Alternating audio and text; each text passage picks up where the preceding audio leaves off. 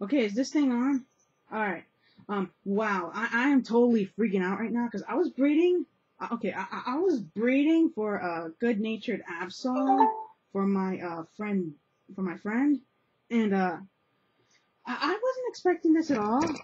Uh, hold on a second. Uh, first egg hatched, and oh, I gotta lower it. Hold on. And, uh, check that out. Shiny Absol, first egg hatched. I was not expecting that. I was not even doing anything. Uh, it's shiny.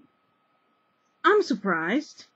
Look at the red, uh, replacing the black. It's, it's, it's red.